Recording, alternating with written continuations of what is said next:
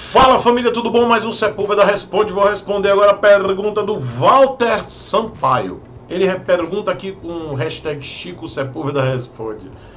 Boa noite, Chico. Antes de mais nada, sou muito fã do seu canal. Acompanho todos os seus vídeos e comentários que sempre ajudam os inscritos. Moro em Nova, Nova Friburgo, Rio de Janeiro. Tenho 58 anos, 1,68m e possuo uma CB300R, ano 2015 com 13 mil quilômetros, espero vendê-la, se Deus quiser, ainda essa semana. Minha cidade tem muitas ruas de paralelepípedos, lombadas, inúmeros buracos e por isso quero adquirir uma moto alta. A utilização do veículo é somente para buscar minha esposa no emprego, fazer pequenas compras. Nunca viajo de moto. O percurso diário que faço não passa de 15 quilômetros. Minha dúvida: em qual moto adquirir? Devo adquirir? Consiste nas as seguintes, tá? Bros 160, e aí o legal que é que o Walter ele coloca os valores. Já ajuda bastante para eu poder ajudá-lo e vocês também. Bros 160, 14.400. XRE 190, 16.200. Cross 650, que ainda não sei o preço, e a nova Lander 250, 18.490. Vendendo minha moto, terei disponível 17 mil reais. E uma CB300R, bom, você deve ter dinheiro guardado. É, terei disponível 17 mil reais. E pretendo comprar uma moto à vista, tendo com isso o poder de barganhar. Muito bom. No que diz respeito ao Lander, é o medo dessa moto sair logo de linha, já que a Yamaha certamente logo colocará no mercado o motor da MT-03, é, da MT-320. É 03 que ele quis dizer. É, tá. Ele está querendo falar da Teneré 320. Poderia me ajudar? Abraço e agradeço a atenção, Walter Sampaio. Walter, seguinte, é, você já está dando aqui excelentes opções. Eu vou te dar a real mesmo, tá? Não aconselho você pegar uma moto muito cara, já que você, a não ser que você queira mesmo então vamos pensar no custo-benefício.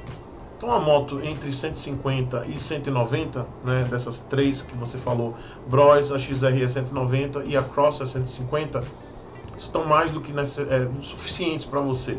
Você roda 15 km por dia, uma moto trail vai ajudar aí a sua coluna, mesmo você morando aí numa cidade que tem muito paralelepípedo, né, que é Nova Friburgo, e eu não vejo necessidade de você gastar tanto, né? Comprar uma Lander. E aí eu também não digo para você temer, temer que ela saia de linha tão rápido. Mesmo eu batendo aqui na tecla que ela é uma moto de passagem. Mas eu não acredito que o Picolé Chuchu abra mão da Lander, que é um nome forte, tão cedo. Então acho que essa moto ainda tem uma longevidade de pelo menos 5 anos. E você não terá falta de peças nem nada disso, mesmo que você decida comprar uma Lander. E essa moto está excelente. Mas por uma questão de custo-benefício, e você diz que consegue aí 17 mil reais vendendo, eu acho que, pelo que eu entendi, você consegue vender a sua CB300R e ainda com o dinheiro que você deve ter guardado, você conseguir 17 mil. Porque eu duvido que você consiga 17 mil nessa, nessa CB300R, tá? Se você, não sei se é isso, mas acredito que você juntando o dinheiro dela com o dinheiro que você deve ter guardado, realmente você vai ter uma grana aí para barganhar bem. E sempre legal você ter dinheiro para pagar à vista. Dessas, eu sei que muitos inscritos quando tem Bros, XRE, sempre quando eu é, tem uma pergunta no Sepúlveda Responde, muitos queridos inscritos colocam aqui, Chicão, por que, que você não indica a XRE 190? É, muita gente acha que eu não gosto da XRE 190. Eu gosto, tá? Mas só que eu acho que o valor dela não é um valor adequado à, à categoria dela. Ela é uma categoria fantasma, é uma categoria limbo. Ela fica no meio entre uma moto de 150 e uma moto de 250. Como é que você vai pagar? É, e aqui ele está falando o valor de lá, né? Do Rio de Janeiro. 16.200 numa moto 190. Então eu, eu não. Eu acabo não curtindo muito assim pagar um valor tão alto assim. Olha a diferença de uma Bros para uma XRE é de dois mil e duzentos reais. Não, desculpa. É dois mil reais. dois mil reais de diferença. Estou arredondando aqui. Dois mil reais. E sinceramente, é, o pessoal fala muito, ah, mas a XRE 190 tem mais final, ela tem realmente um, um painel com um computador de bordo, o consumo é bem legal, isso eu tenho até que me retratar, porque eu fico levantando muito a bola do painel da Crosser, mas o painel da XRE 190 é superior. Eu acho bonita a XRE 190, mas eu prefiro a Crosser, mesmo assim, tá? Eu acho que nessa situação menos é muito mais. Você vê que eu nem falei da Bros. A Bros para mim já está fora de cogitação, eu não recomendo mais a Bros. Quando ela tinha ainda a versão ESDD ou ESD, que tinha uh, que tem o freio a disco na roda traseira, eu ainda recomendava quando um inscrito me perguntava sobre segurança, freio e tal, porque a antiga Cross 650 não tinha freio a disco na roda traseira. Então eu recomendava muito a Bros também, quando se falava em freio.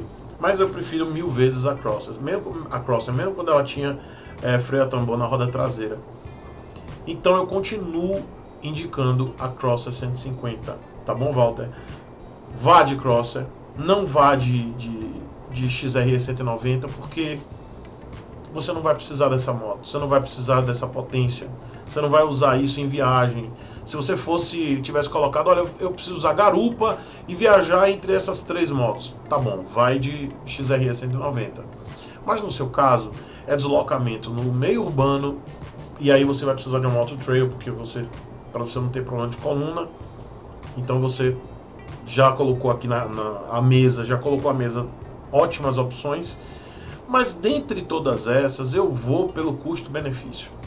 Cross é 150, você tem aí freio ABS na roda dianteira, freio a disco na roda traseira, economia, você faz aí até 38 km por litro, tem relatos aí de 40, dependendo da tocada. É uma moto que tem um painel muito bom, infelizmente não tem computador de bordo, né, que é consumo instantâneo, consumo médio de combustível e algumas outras cositas, não tem. Mas é um, um painel muito completo, muito bom. A moto tá linda, a moto é bonita, motor muito durável. Esse motor já é consagrado, esse motor 150 da Yamaha. Então, vai de Crosser 150, tá? Não, não acho necessário você, pelo seu pequeno percurso de 15 quilômetros, ir buscar sua esposa. Eu acho que você não precisa. Então, eu acho que a, Crosser está na mesma faixa da Bros, tá? Você falou aqui 14.400. Eu acho que a Crosser está nessa faixa aí, entre 13 e 14 mil. Então vamos lá, se você tem 17, você vai economizar aí 4 mil reais sobram. Então desses 4 mil você vai pagar imposto, né? Você vai pagar aí o IPVA, placa, emplacamento, não sei o que. IPVA não, você vai pagar emplacamento, transferência, você vai gastar uns mil reais aí. Sobram 3 mil reais. Desses 3 mil, Walter, compra um equipamento legal, tá? Compra um capacete legal, compra uma jaqueta, uma luva, então guarda o dinheiro, aplica e faz alguma outra coisa que você queira, tá? Mas não pega a moto 250 não, vai de crosser, tá certo? Bom, mas volta, deixa eu te falar uma coisa, aqui no canal nós somos uma comunidade e um fórum de discussão. A minha opinião é essa, mas nós temos mais de 58 mil inscritos que participam e que assistem e que comentam. Eu é, fico muito orgulhoso que esse canal aqui nós temos visualizações razoáveis, mas o engajamento e os comentários têm alta, alta participatividade, alta participação é, dos meus inscritos. Eu fico muito feliz com isso, então vou pedir para você, Walter, que leia todos os comentários. Tá? Leia os comentários que o pessoal vai te orientar. Cada um vai dizer alguma coisa e aí você vai pegar o, o bom de cada opinião e vai tomar a sua opinião, tá? Vai tomar a sua decisão na realidade. Tá bom, Walter? Então, galera, vamos ajudar o Walter. Coloca aqui a opinião de vocês. Eu sei que muita gente vai falar, pô, XRS 190 é melhor, Chicão, é melhor, tá? Mas, galera, ele não vai viajar. É, ele não precisa de potência, tá? Ele precisa de economia, tá certo? A moto trail com a suspensão boa, ele precisa de economia. Ele vai buscar a esposa dele, vai fazer pequenas compras. Então, ele vai precisar só de economia. Vamos pensar nisso? Então, Walter, espero ter ajudado tá certo? E você que está assistindo aqui meu canal, gosta de rifa, quer participar de sorteio, comprando aí e tentando a sorte com uma moto pagando 20 reais e levando a moto zero quilômetro, Eu tenho a rifa de uma Lean de 125, que é uma scooter 0 km, lá por 20 reais. Uma CB400 1981, uma relíquia. E essa moto é minha e do Motoca 071, que a gente vai fazer a rifa para nossa viagem à Patagônia em 2020 e a gente vai comprar duas Royal Enfield Himalayan, tá? Esse é o plano. Então a gente precisa muito da ajuda de vocês para que a gente termine essa rifa. Acesse lá chicosepulveda.com.br.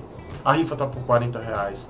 A gente precisa correr contra o tempo para terminar essa rifa, para a gente poder comprar essas duas motos e começar a testar a moto e fazer todas as revisões para quando a gente fizer a viagem, a moto tá toda já é, é, revisada e já amaciada, tá bom? Além disso, até o dia 12 de abril, a MT-07 será.